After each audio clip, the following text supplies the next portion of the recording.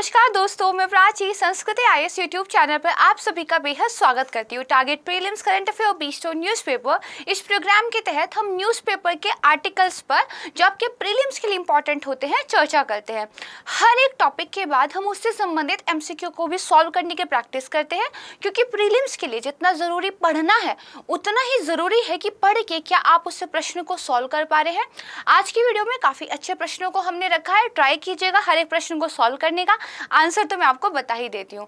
तो आइए, बिना किसी देरी के स्टार्ट करते हैं आज का वीडियो वीडियो में सबसे पहले जानते हैं कि हम कौन से पाँच टॉपिक्स को कवर करने वाले हैं। सबसे पहले देखिए, द हिंदू में कल टेक्स्ट एंड कंटेक्स्ट के तहत एक बहुत अच्छा आर्टिकल आया था कि जो आर्कटिक है, उसका तापमान बढ़ रहा है। और उसमें भी भारत पर इसका क्या इफ़ेक्ट पड़ेगा, इस चीज़ को लेकर बात कही गई थी। तो ये टॉपिक बहुत ज़्यादा इंपॉर्टेंट हो जाता है और मैं आपको सजेशन दूँगी ना सिर्फ़ प्रीलिम्स के परस्पेक्टिव से बल्कि मीन्स के परस्पेक्टिव से भी इसको तैयार कीजिएगा, क्योंकि भारतीय मानसून ये एक इंपॉर्टेंट टॉपिक है और भारतीय मानसून पर क्या क्या इफ़ेक्ट डालता है? और अभी हाल ही में हमने देखा है कि भारत में कहीं सूखा था तो कहीं बाढ़ थी और मानसून जो है या तो लेट आ रहा है या तो लेट जा रहा है। ये जो सारी चीज़ें हैं, इन पर क्या क्या फैक्टर्स प्रभाव डालते हैं, ये आपके एग्ज़ाम में पूछे जाने वाली एक थीम बन सकती है। हालाँकि मैंने ये जो आर्टिकल आपको तैयार कराया है, ये मीन्स के पॉइंट ऑफ़ व्यू से भी तैयार कराया है तो आप उसी हिसाब से इसके नोट्स बना लीजिएगा राइट चलिए सेकंड टॉपिक देखते हैं। आप लगातार न्यूज़ में पढ़ रहे होंगे कि चीन का एक जहाज़ जो है, श्रीलंका में हम्बन टोटा पोर्ट पर आ रहा है। काफ़ी दिन से ये लगातार न्यूज़ में था। मैंने आपको कहा था, कई बार हम केवल उन खबरों को लेते हैं जब वो विकसित हो जाती है। कच्ची खबरों को हम नहीं लेते। अब क्योंकि ये जहाज़ पहुँच चुका है तो प्रीलिम्स के पॉइंट ऑफ़ व्यू से इसके बारे में हम थोड़ा सा पढ़ेंगे। अगेन ये टॉपिक भी जो आपके बायोलेटरल और मल्टीलेटरल रिलेशनशिप होती है इंटरनेशनल रिलेशन में उसके लिए महत्वपूर्ण है। तो भारत, श्रीलंका और चीन, ये जो एक आप कह सकते हो त्रिकोण बनता है, इनके आपसी संबंधों पर किससे क्या प्रभाव पड़ता है, इन सबको प्रिपेयर कर लीजिएगा। चीन हमेशा से ही न्यूज़ में रहता है, भारत के संदर्भ में, लेकिन हाल ही में दो घटनाएँ, ताइवान वाला मुद्दा और श्रीलंका के हम्बन टोटन पोर्ट पर उनका जहाज़ आना, इसकी वजह से काफ़ी ज़्यादा हाईलाइट है। तो हमारे लिए इंपॉर्टेंट हो जाता है। थर्ड टॉपिक हम पढ़ेंगे देखिए Nipun mines landing craft assault and F I N S S system ये देखिए जो रक्षा मंत्री राजनाथ सिंह हैं उनके द्वारा हाल ही में सेना को सुपुर्द किए गए हैं। सेना को जो दिए गए सिस्टम्स हैं ये क्या हैं?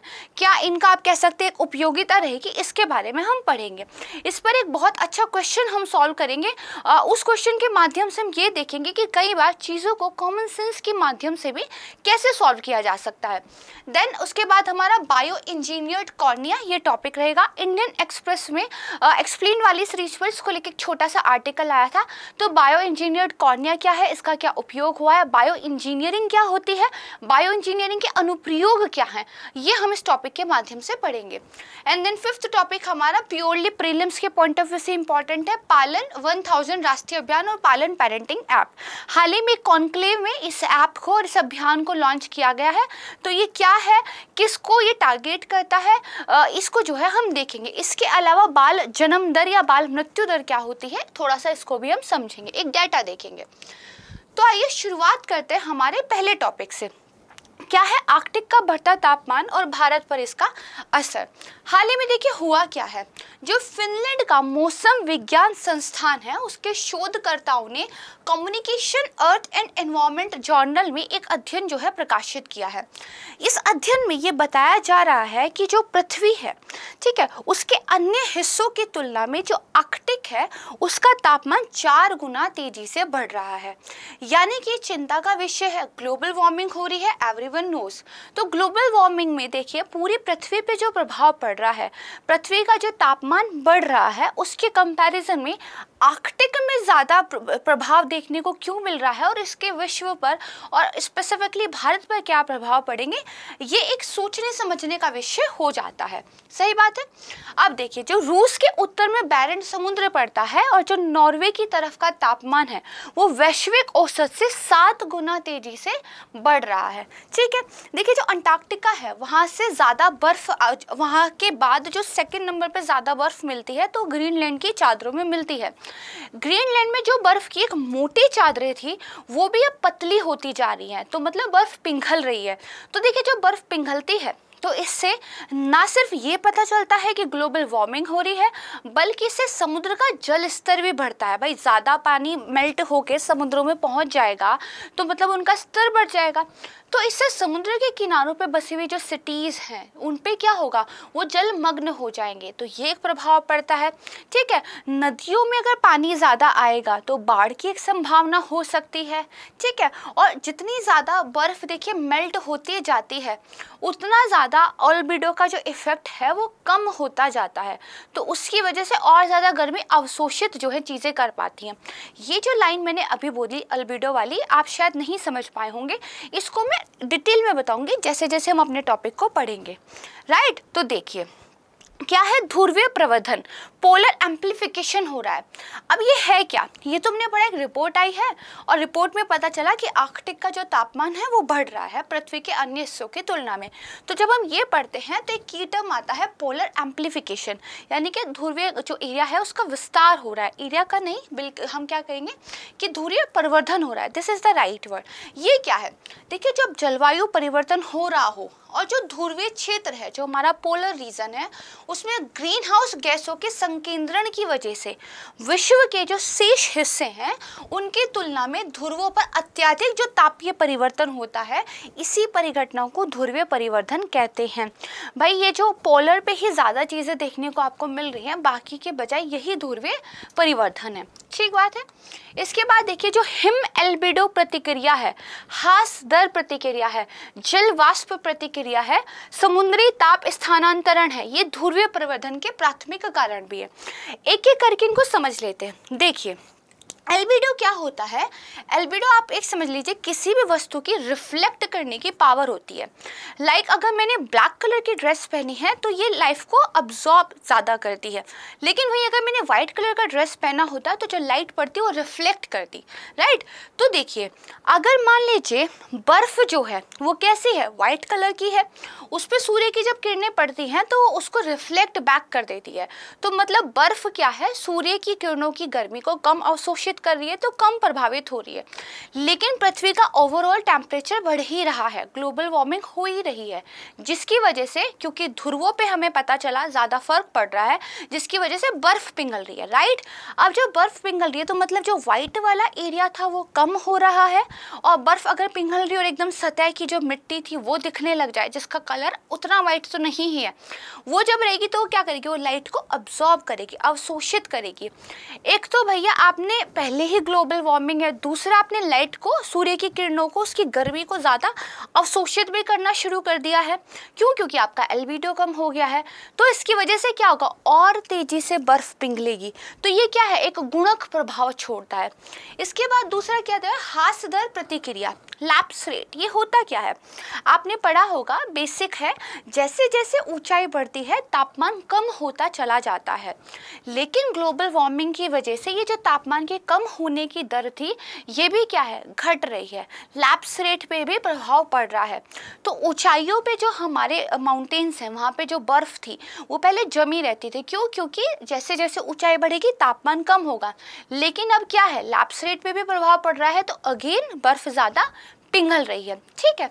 वाष्पीकरण वगैरह जलवाष्प की प्रतिक्रिया, समुद्री तापमान का स्थानांतरण। ठीक है? देखिए, पहले क्या होता था? जो हमारा ये वाला रीजन है। भूमध्य वाला। इसमें ज़्यादा गर्मी रहती है, हमें पता है है ना? सूर्य की सीधी किरणें पड़ती हैं।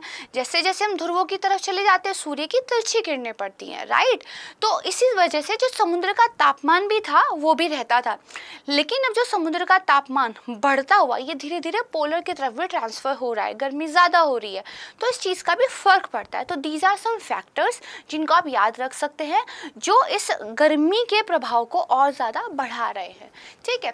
तो देखिए, क्या कह रहा है, जब समुद्री बर्फ़ पिघलती है तो आर्कटिक महासागर सूर्य का अधिक विकिरण अवशोषित करता है, जिससे विस्तार में बदलाव आ रहा है। ध्रुवीय विस्तार की हम बात कर रहे हैं, ध्रुवीय प्रवर्धन की। लैपस्टर, यानी कि ऊंचाई पर तापमान गिरता है तो यहाँ पे भी तापमान में वृद्धि होने की वजह से लगातार क्या हो रही है, कम हो रही है।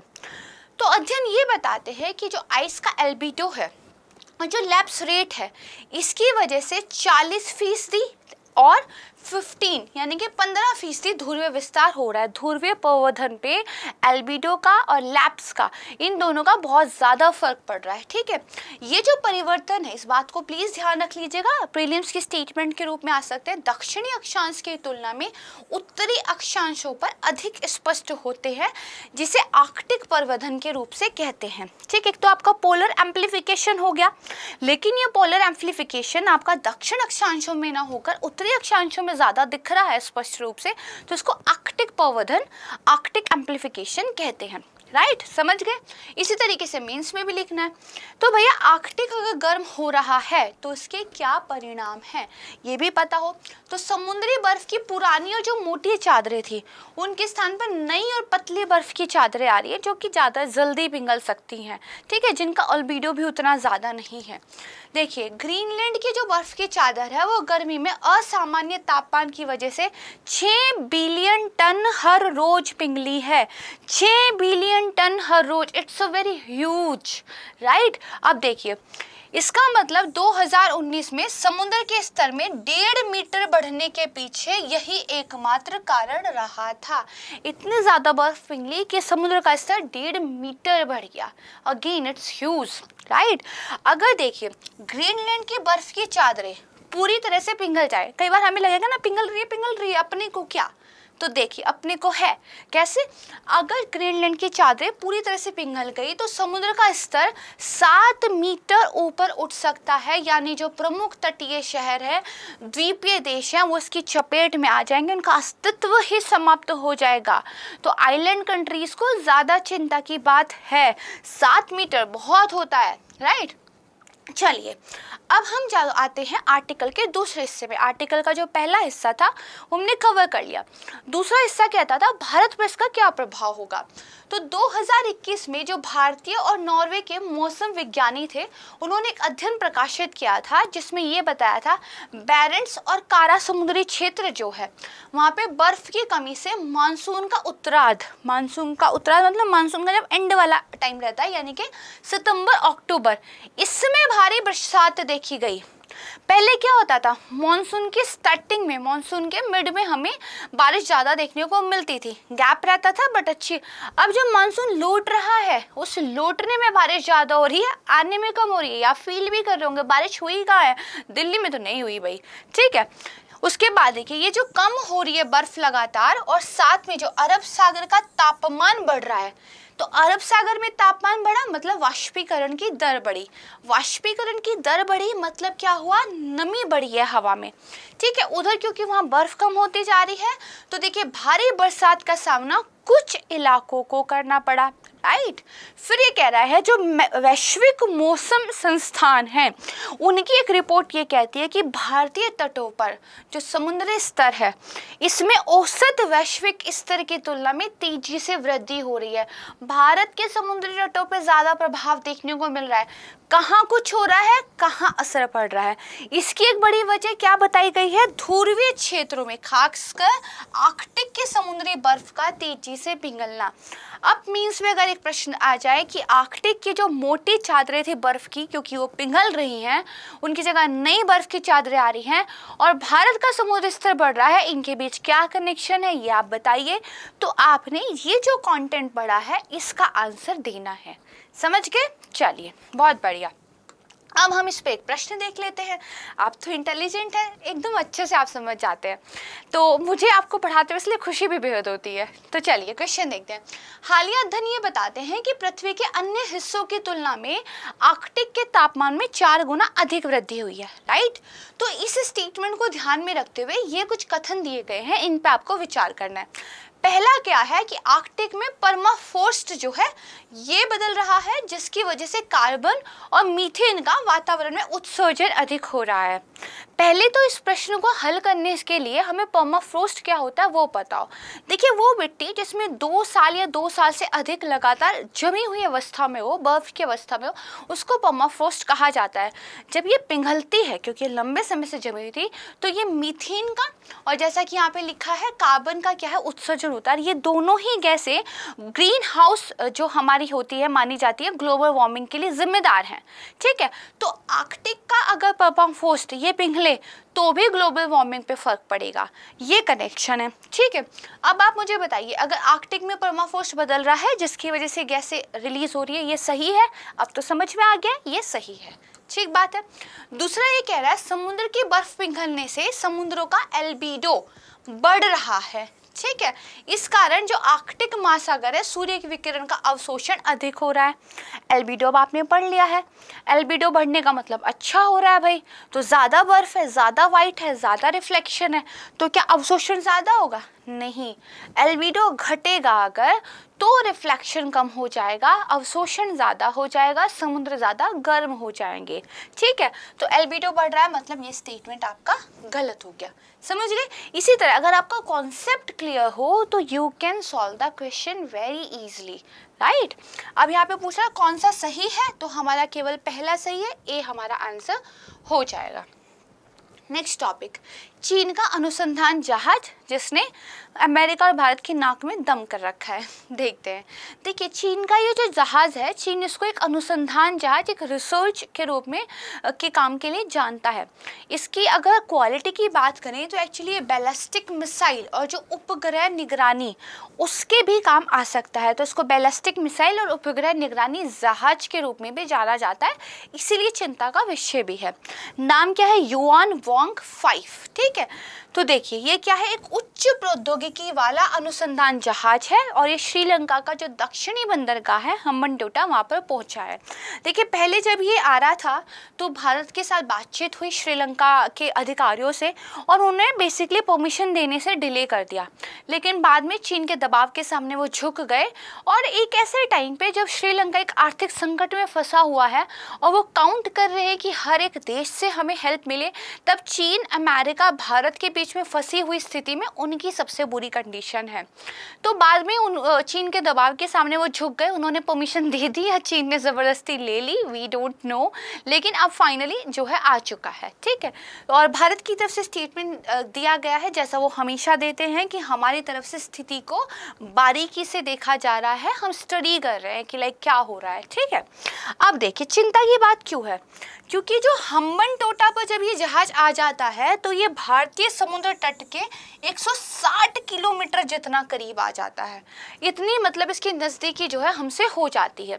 तो माना यह जाता है, विशेषज्ञों का ये कहना कि समुद्र तल की खास तौर पर मैपिंग के ज़रिए ये नौसेना रक्षा कवच को भेदने संबंधी डाटा को जमा कर सकता है। हमारी नौसेना की किस तरह की स्थिति है, किस तरह से हम उसको काम करते हैं, समुद्र तल की एक अलग प्रकार से, एक विशेष प्रकार की मैपिंग के ज़रिए वो डाटा ये कलेक्ट कर लेंगे। उस डाटा के बेस पर ये क्या कर सकते हैं, हमारा जो एक सुरक्षा कवच है उसको भेज सकते हैं। आइए पहले इस जहाज़ के बारे में जान लेते हैं। युआंग वोंग फाइक, सबसे खतरनाक जासूसी जहाज़ इसको करार दिया जाता है। जिस जगह पे ये जहाज़ पहुँचा है, वहाँ से वो भारत की किसी भी बैलिस्टिक मिसाइल को ट्रेस्ट कर ट्रैक कर सकता है, जिसका टेस्ट सेनाओं के द्वारा किया जाएगा। जिसको भी हम टेस्ट करेंगे ये जो है उसको ट्रैक कर सकते हैं। ये बेसिकली युवांग वांग श्रृंखला की तीसरी पीढ़ी का पोत है, जो 2007 से काम कर रहा है। वज़न की बात करें तो तेईस हज़ार टन है। 409 सैनिकों का क्रू आसानी से इस पर आ सकता है। ये ना सिर्फ़ सैटेलाइट्स को ट्रैक कर सकता है, बल्कि हमारे जो अंतर महाद्वीपीय इंटर कॉन्टिनेंटल बैलास्टिक्स मिसाइल हैं, उनको भी ट्रैक करने की क्षमता इसके पास है। और ये जो जहाज़ है, इसके बारे में जाना जाता है कि ये जहाँ खुद खड़ा होता है, वहाँ से 750 किलोमीटर के दायरे में जो है चीज़ों को देख सकता, मॉनिटर कर सकता है। तो क्या लिखा हुआ है? 750 किलोमीटर तक डाटा इकट्ठा कर सकता है। इतना बड़ा इसका दायरा है। तो जहाज़ के बारे में पढ़ लिया। जहाज़ आया कहाँ है? हम्बन टोटा बंदरगाह पर। तो उसके बारे में पढ़ लेते हैं। इसीलिए मैं आपको बोलती हूँ, न्यूज़ ना पढ़े। देखिए न्यूज़ कैसे होता है? किसी ने आपको पढ़ाया, जहाज़ आया है और चीन में ये है और भारत ये कह रहा है और श्रीलंका ये कह रहा है, क्या वो काम आएगा? आपको शिप के बारे में उस शिप की क्या स्पेसिफिकेशन है? उस पोर्ट के बारे में, हमारे लिए वो चिंता का विषय क्यों है? हमसे कितनी नज़दीक दूरी पर आता है? ये सब पता होना चाहिए। चीन, श्रीलंका के पीछे भी क्या चल रहा है? भारत ने श्रीलंका को हाल ही में ड्रोन या विमान गिफ्ट किए ये सब पता होना चाहिए। प्रश्न तो यहाँ से बनेगा राइट तो चलिए, ठीक है? अब देखिए हम्बन टोटा दुनिया का अत्यधिक व्यस्त ईस्ट वेस्ट शिपिंग रूट है, उसके बहुत नज़दीक है, जिसकी वजह से इसकी बहुत रणनीतिक स्थिति है। ठीक है हम्बन टोटा इंटरनेशनल पोर्ट समूह, बेसिकली यहाँ पर श्रीलंका वैसे भी दबाव में है, क्योंकि जो श्रीलंका की सरकार है, उसने चीन मर्चेंट पोर्ट होल्डिंग्स के द्वारा मिलकर एक सार्वजनिक निजी भागीदारी की रणनीति से इसको विकास किया है। तो एक बात ये भी कही जाती है कि अगर वो चीन को रोकेंगे तो चीन की तरफ़ से जो इतना सारा कर्जा है उनके ऊपर, इस पोर्ट को पर्टिकुलरली विकसित करने के लिए, वो कर्जा वापस मांगा जाएगा, क्योंकि श्रीलंका वो कर्जा नहीं चुका पाया था। इसीलिए निन्यानवे साल की लीज पर तो वो ऑलरेडी चीन को चीज़ें दे चुके, अपनी ज़मीन दे चुके हैं। है ना? अगर वो उनको प्रेशराइज करेंगे कि हम आपको परमिशन तो चीन वापस वो पैसा मांग सकता है। और आर्थिक संकट में फंसे श्रीलंका को अगर सबसे ज़्यादा किसी चीज़ की ज़रूरत है तो वो पैसा है राइट तो ठीक है। तो पैसा सिर्फ़ व्यक्तिगत तौर पर ही परेशान नहीं करता एक नेशन के रूप में भी परेशान करता है। तो देखिए, जब श्रीलंका जो है चीन का ऋण चुकाने में असफल रहा था तो इसको निन्यानवे साल के पट्टे पर दे दिया गया था। अब देखिए, ये मैप है। यहाँ पे आप देखेंगे, ये अगर श्रीलंका है, ठीक है, और इसका दक्षिणी जो है पोर्ट आपका हम्बन टोटा है तो भारत से वैसे भी इसकी दूरी बहुत कम हो जाती है। तो चीन, जो कि यहाँ पे जो डायरेक्ट यहाँ पे समुद्र से निगरानी नहीं कर सकते, वो यहाँ आके, लेकिन यहाँ से तो निगरानी कर सकते हैं ना। इसीलिए इंपॉर्टेंट हो जाता है। तो देखिए चीन और श्रीलंका ये क्या है? चीन श्रीलंका का सबसे बड़ा द्विपक्षीय लेनदार है, ठीक है? और विदेशी कर्जे के बोझ को कम करने के लिए बहुत अधिक हद तक चीनी ऋण पर क्या है? निर्भर है। इसके बाद चीन ने 2006 से 19 के बीच में श्रीलंका की बुनियादी ढांचा परियोजनाओं में करीब 12 अरब डॉलर का निवेश भी किया है। तो जिसके पास 12 अरब डॉलर दे दिए गए हो, क्या वो आपके सामने कुछ बोल पाएगा? नहीं। ठीक है तो चीन और श्रीलंका का अगर वो इक्वेशन चल रहा है तो भारत श्रीलंका का क्या इक्वेशन चल रहा है? तो देखिए, आर्थिक संकट से जूझ रहे श्रीलंका की भारत ने तेल से लेकर हर तरह की मदद की है। इस साल 3.8 बिलियन डॉलर की लाइन ऑफ़ क्रेडिट भी हमने दिया है उनको। अभी हाल ही में जो है, तीन चार दिन पहले की न्यूज़ है, श्रीलंका को ड्रोनिया हवाई जहाज़ भी जो है, भारत ने दिए है, जो इस देश में तस्करी से संबंधित या फिर जो अन्य समुद्री चुनौतियाँ हैं, उनसे निपटने में क्या है मदद करेगा। तो ऐसा नहीं है कि हम हाथ खड़े किए हुए हैं, हम भी हेल्प कर रहे हैं बट पैसों के मामले में चीन बहुत ज़्यादा मतलब वेटेज रखता है। ठीक है? तो आगे देखते हैं क्या डेवलपमेंट इस न्यूज़ में होती है but for now this is enough right इसको आप पढ़ लीजिएगा। चलिए, अब देखिए, अब मैंने जो प्रश्न लिया है, वो यूपीएससी का प्रश्न लिया है, ताकि पता आपको चले कि पढ़ना कैसे है, फिर क्वेश्चन कैसे करने हैं, है ना? तो इसको ध्यान में रखिएगा। तो आइए क्वेश्चंस देख लेते हैं, क्या कह रहा है। तो कुछ स्टेटमेंट आपको दी गई है। कह रहा है, पिछले दशक में भारत श्रीलंका व्यापार मूल्य में लगातार क्या है, वृद्धि हुई है। दूसरा कह रहा है, कपड़ा और कपड़े से निर्मित वस्तुएँ भारत और बांग्लादेश के बीच व्यापार की क्या है एक महत्वपूर्ण वस्तु है? ठीक है फिर ये कह रहा है, नेपाल पिछले पाँच वर्षों में दक्षिण एशिया में भारत का सबसे बड़ा व्यापारिक भागीदार देश रहा है। तो उन्होंने बेसिकली क्या किया है? भारत श्रीलंका पूछ लिया है, भारत बांग्लादेश पूछ लिया है, भारत और नेपाल पूछ लिया। तीन नेबरिंग कंट्रीज़ के बारे में तीन स्टेटमेंट उन्होंने दे दी हैं, जो अगर आप लगातार न्यूज़पेपर फॉलो कर रहे होते या न्यूज़पेपर से रिलेटेड वीडियो देख रहे होते तो आप कर सकते थे। तो इसको सॉल्व करने की कोशिश कीजिए, फिर मैं आपको इसका आंसर बताऊँगी। राइट चलिए। बात करते हैं अपने थर्ड टॉपिक की। Nipun mines landing craft assault F I N S S system देखते हैं। तो ये बेसिकली क्या है? रक्षा मंत्री ने भी सेना को सौंपे हैं। तो सबसे पहले एफ़ आई एन क्या है ये? एस ए एस प्रणाली। इसका नाम क्या है? ये बताओ। Future infantry soldier as a system ठीक है बेसिकली जो थल सैनिक है, उनके आधुनिकीकरण के लिए बनाया गया है और इससे सैनिक की कार्य क्षमताओं में क्या है, इजाफा होगा। क्यों? क्योंकि सैनिक को हल्के वज़न के आधुनिक जो सिस्टम्स हैं, उनसे लेस किया जा रहा है। ये हर मौसम में काम करते हैं, ऐसे सिस्टम्स हैं और बेसिकली काफ़ी किफ़ायती भी है। जैसे दीज आर दी सिस्टम्स जो आप बाद में एक स्क्रीनशॉट लेके देख सकते हैं, जो एक सैनिक को दिए गए इनमें से कुछ के बारे में मैं आपको बता भी दूँगी। जैसे पहला क्या है? क्या क्या इसमें शामिल है? A K two zero three assault rifle है, जिसकी रेंज 300 मीटर तक है, जिसे रूस के साथ मिलकर हम अमेठी में बना रहे हैं। फिर एफ़ इंसोसिस में सैनिक का जो राइफल के ऊपर एक होलोग्राफिक लेंस दिया गया है, जिससे 200 मीटर तक की रेंज में जो टारगेट होगा, उस पर सटीक निशाना लगाया जा सकता है। हेलमेट पर ऐसे उपकरण लगाए गए हैं, जो अंधेरे में देखने में एक सैनिक को हेल्प करेंगे। फिर जम, जवान जो है, बिना हाथों का इस्तेमाल किए, आपस में कम्युनिकेशन कर सके, इसके लिए एडवांस कम्युनिकेशन सिस्टम भी मिला हुआ है। तो ये सारी चीज़ें जो एक जवान को दी जा रही हैं, ये बेसिकली उस सिस्टम का हिस्सा है। दूसरा क्या दिया जा रहा है? तो देखिए, निपुण माइंस दी जा रही है। कुछ दिन पहले हमने बटरफ्लाई माइंस पढ़ी थी, अब हम निपुण माइंस पढ़ रहे हैं, ठीक है? तो बेसिकली क्या होती है, दुश्मनों को हानि पहुँचाने के लिए ये ऐसे ज़मीन में लगा दी जाती हैं, गिरा दी जाती है देन ये विस्फोट करती हैं, है ना? तो यहाँ पर देखिए, निपुण माइंस सबसे अच्छी बात, स्वदेशी रूप से डिज़ाइन और विकसित की गई एंटीक्रमिक मिसाइल है, जिन्हें डीआरडीओ ने क्या कहा है? सॉफ्ट टारगेट ब्लास्ट म्यूनिशन ठीक है? ये जो घुसपैठिए हैं, और जो दुश्मन पैदल सेना है, उसके खिलाफ रक्षा की पहली पंक्ति के रूप में कार्य करेगा। और जो आयुध अनुसंधान एवं विकास प्रतिष्ठान है ओआरडी उनके प्रयासों से इसको विकसित किया गया है। ठीक बात है? आसान था। Now third one landing craft assault जो हमारी पेगोंग तसो झील है, जहाँ पे चाइना के साथ हमारे काफ़ी आप कह सकते हैं, तनावपूर्ण संबंध चल रहे हैं, वहाँ पे जो वर्तमान में उपयोग की जाने वाली, जो सीमित क्षमता वाली नाव हैं, उनको प्रतिस्थापित करने के लिए इनको हम लेकर आए हैं। तो कुछ इस तरह की ये दिखती हैं। तो अब आपको थोड़ा सा याद रहेगा। ठीक बात है? तो जो एलसीए है, वो गोवा स्थित जो एक्वेरियस शिपयार्ड लिमिटेड है, उसके द्वारा स्वदेशी रूप से अगेन इंडिजन मतलब हम भारत में रहकर चीज़ों को बना रहे हैं, इसको विकास किया गया है। इसकी स्पीड काफ़ी तेज़ है। एक बार में 35 लड़ाकू सैनिकों को ले जा सकती है।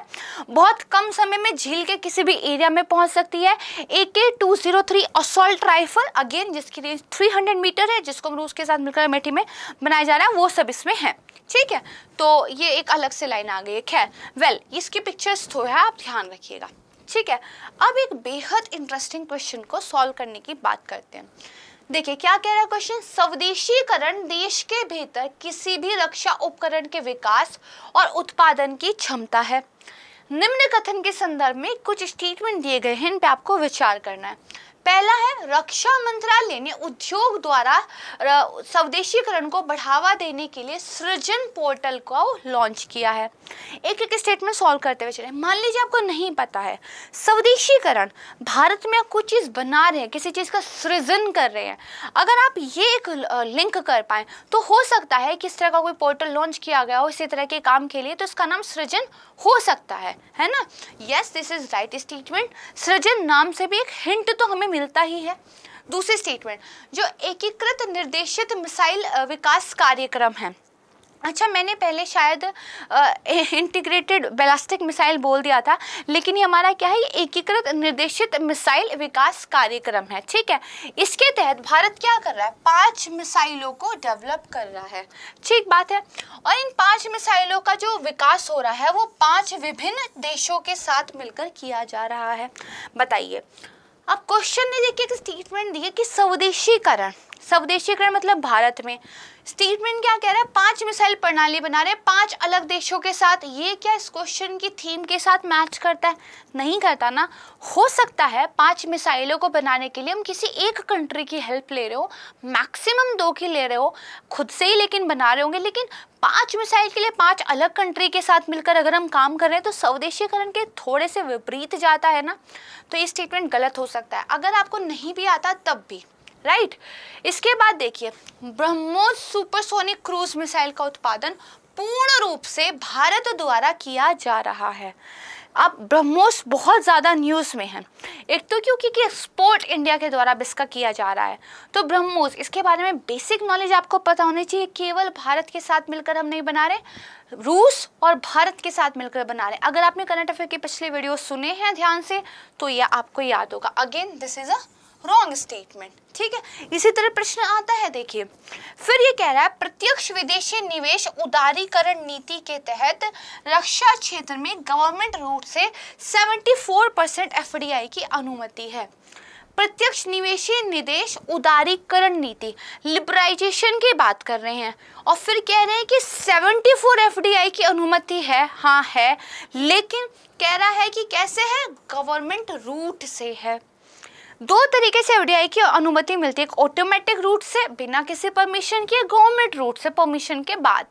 अब जब यहाँ पे लिख दिया गया उदारीकरण नीति तो उदारीकरण का मतलब तो सरकारी दखल कम होता है ना? तो क्या गवर्नमेंट रूट वाला सही होगा? नहीं।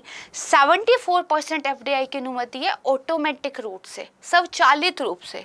तो ये स्टेटमेंट भी क्या है? गलत हो जाता है। देखिए दीज आर दी स्टेटमेंट जो एक बार आप खुद से पढ़ेंगे ना, अगर सॉल्व में नहीं कराते हो तो हो सकता है आप इस इनमें से कुछ आपको सही लगते हो बट गलत है। ठीक है? तो देखिए अब हमने इन स्टेटमेंट्स को जनरली कॉमन सेंस से सॉल्व किया है राइट हमें नहीं हमें नहीं पता था कि हमने पढ़ा है। हाँ एक ब्रह्मोस वाला हमें पता होना चाहिए था। वो एक फैक्ट था।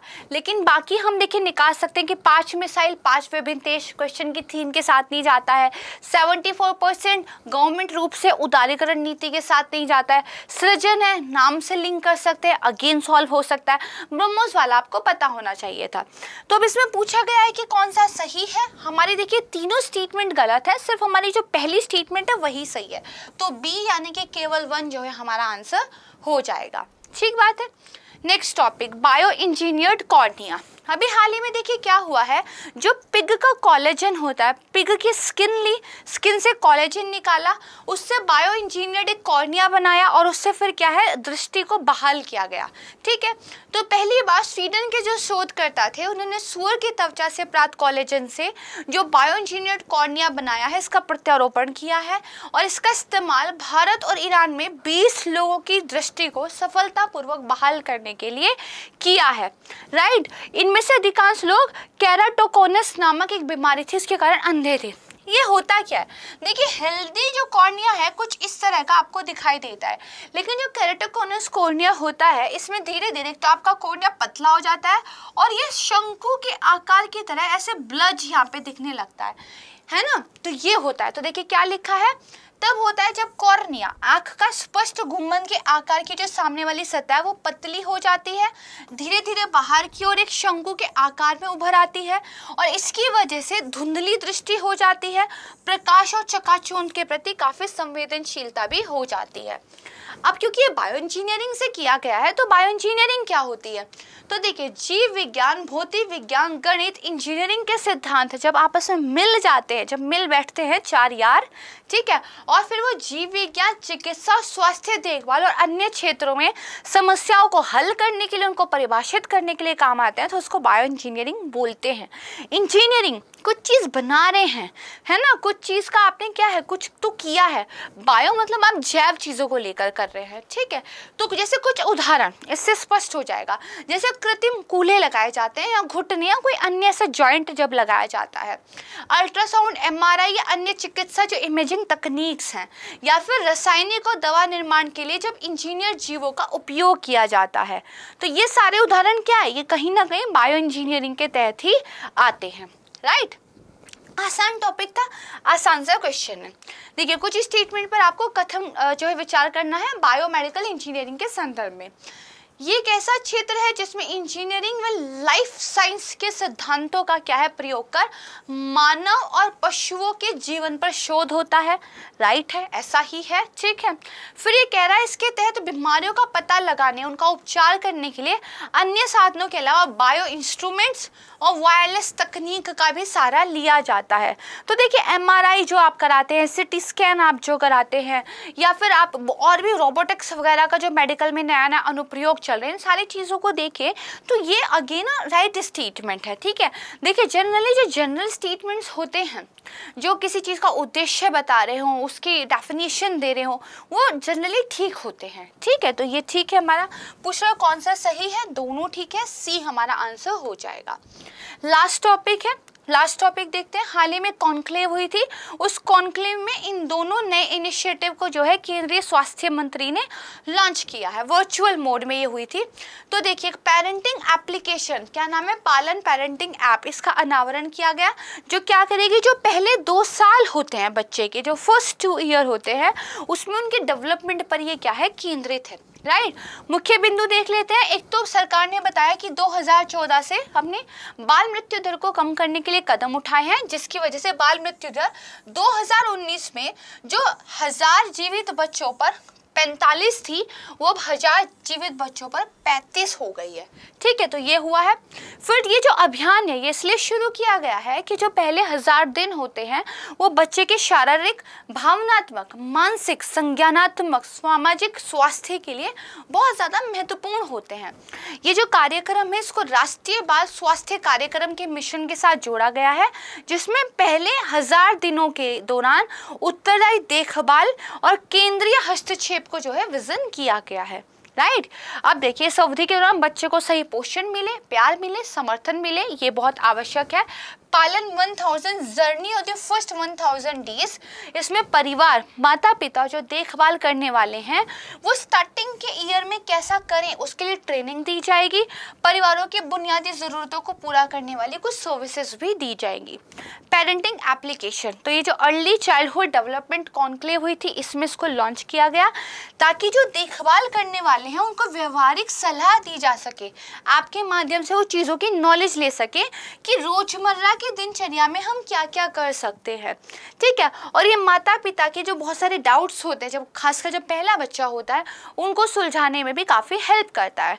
तो बस इतना आपको पता हो कि फ़र्स्ट टू ईयर में बच्चों की देखभाल को बेहतरीन करने के लिए ये दो इनिशिएटिव सरकार के द्वारा चलाए गए हैं। तो बाल मृत्यु दर होती क्या है? तो देखिए बाल मृत्यु दर जन्म और जो पाँच वर्ष की आयु के बीच, यानी कि आज आपका जन्म हुआ है, अब से लेके पाँच साल तक की आयु के बीच में मृत्यु की संभावना के रूप में परिभाषित किया जाता है। यानी देखा जाता है कि अगर एक हज़ार जीवित बच्चे पैदा हुए हैं तो कितनों की उस पर मृत्यु हुई है? तो ये हज़ार जीवित बच्चों पर व्यक्त की जाती है। यहाँ एक डाटा है, देखिए इन्फेंट मोर्टेलिटी रेट का 2010 से लेकर 2020 तक का। तो आप देखेंगे, लगातार क्या है? गिर रहा है। ठीक है तो इसको ध्यान रखिएगा। ये वर्ल्ड बैंक का डाटा है, ठीक है, ये डिफर कर सकता है हमारा जो इंडियन डाटा है। मैंने आपको जस्ट एक हिंट देने के लिए कि लगातार गिर रहा है, मैंने आपको दिखाया है। ठीक है इन्फेंट मोर्टेलिटी रेट है वो। ठीक है, अब निम्नलिखित कथनों पर विचार कीजिए। एक क्वेश्चन देख लेते हैं, क्या कथन है? देखिए नीति आयोग द्वारा जारी राष्ट्रीय पोषण रणनीति का उद्देश्य सबसे कमज़ोर आयु समूह पर केंद्रित रहते हुए वर्ष 2021 तक सभी प्रकार के कुपोषण को कम करना है। फिर यह कह रहा है, प्रधानमंत्री मातृ वंदना योजना की शुरुआत 2017 को आकांक्षी जिलों में गर्भवती और स्तनपान कराने वाली महिलाओं के कल्याण हेतु शुरू की गई थी। अब आप एक बताइए प्रधानमंत्री मातृ वंदना योजना 2017 आकांक्षी ज़िले। क्या ये तीनों लाइनें जारी हैं? कल हमने पढ़ा था ना आकांक्षी जिलों के बारे में। आपको याद है कि वो कब से शुरू हुए थे? अगर आपको याद है तो आप समझ जाएँगे 2017 में ये नहीं हो सकता। दूसरा, आपको ये पता हो प्रधानमंत्री मातृ वंदना योजना पूरे भारत के लिए शुरू हुई थी। ठीक बात है? तो ये क्या है? ये गलत है। फिर ये कह रहा है कि मध्याह्न भोजन कार्यक्रम के तहत 2004 में व्यापक परिवर्तन करते हुए पका हुआ गर्म भोजन देने की व्यवस्था प्रारंभ की गई थी। ये भी ठीक बात है कि 2004 में एक नया इनिशिएटिव आया कि खाना पका के गर्मा गर्म जो है परोसा जाएगा मिड डे मील में। दिस इज़ अगेन राइट अब मान लीजिए दूसरा हमारा गलत है। तो ये गलत हो जाएगा। ठीक है, अब आपके पास क्या बचा है? केवल एक और तीन। तीन उपयुक्त में से कोई नहीं। ये तो मतलब नहीं है, क्योंकि हमारा एक तो ठीक है। तो दरअसल एक और तीन जो है, इसका राइट आंसर होगा, क्योंकि आपका जो ये वाला स्टेटमेंट है, ये भी ठीक है। राइट तो यहाँ पर देखिए, हमारा आज का वीडियो समाप्त होता है। मुझे उम्मीद है कि चीज़ें आपको पसंद आई होंगी। बहुत मेहनत हमारे द्वारा की जाती है आपको चीज़ें समझाने की, आपको चीज़ें याद कराने की। तो इसीलिए इन वीडियोज़ को लाइक कीजिए शेयर कीजिए, ज़्यादा से ज़्यादा और सब्सक्राइब कीजिए, क्योंकि मेरी टीम को इससे बहुत खुशी होती है और जितना ज़्यादा आप शेयर करेंगे, उतनी ज़्यादा रीच जो है हम लोगों की बढ़ेगी। बहुत जल्द मिलूँगी एक नए करंट अफेयर के वीडियो के साथ, तब तक के लिए नमस्कार, जय हिंद, धन्यवाद।